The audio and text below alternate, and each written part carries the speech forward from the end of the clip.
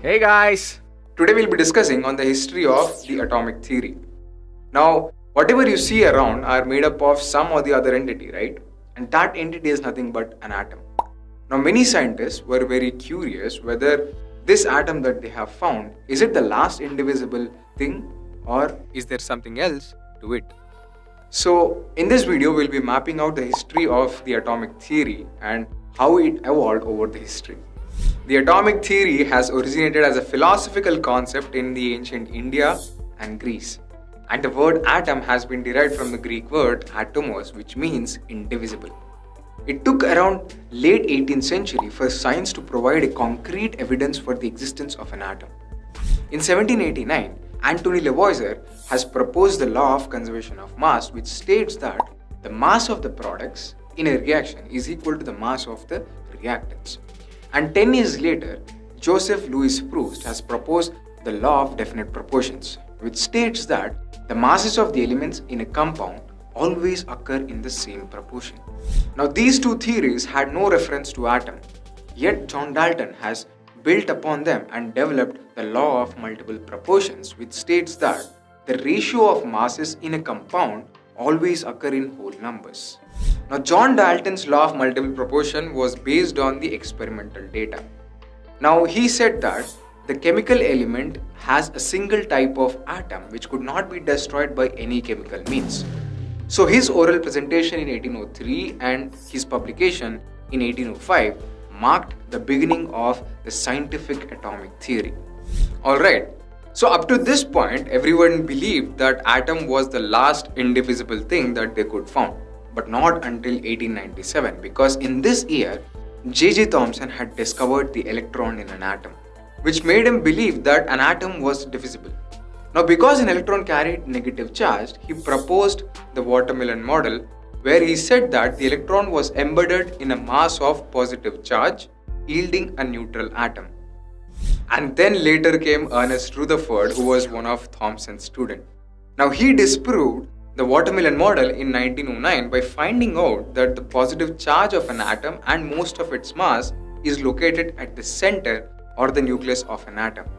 He described a planetary model in which the electrons orbited a small positively charged nucleus.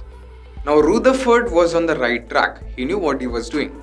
But his model couldn't explain some of the factors like the absorption and emission spectra of an atom, nor it could explain why the electron did not crash into the nucleus when they were oppositely charged. So in 1913 comes the scientist Niels Bohr with his famous Bohr's model of atom which is still the basic structure of the atom even today. His model stated that the electron revolves around the nucleus only at a specific distances. Now, according to his model, electrons couldn't spiral into the nucleus but could make quantum leaps to other energy levels. Now, Bohr's model explained the hydrogen spectra, that is, the absorption and the emission spectra of an atom with single electron. But his model couldn't extend that behavior to other atoms which had more than one electron. Later, Louis de Broglie proposed the wave nature of moving particles, which Schrödinger proved and described using his Schrödinger's equation in 1926. Now, this led to Werner Heisenberg's uncertainty principle, which states that it is impossible to know simultaneously both the position and the momentum of any particle. So, this was the beginning of the quantum mechanics people were trying to understand about this electron which was smaller than the atom's size. So this led to the atomic theory in which the atom consisted of smaller particles like electrons. So the electron could be potentially located anywhere in an atom but it was found with most probability in an atomic orbital or an energy level.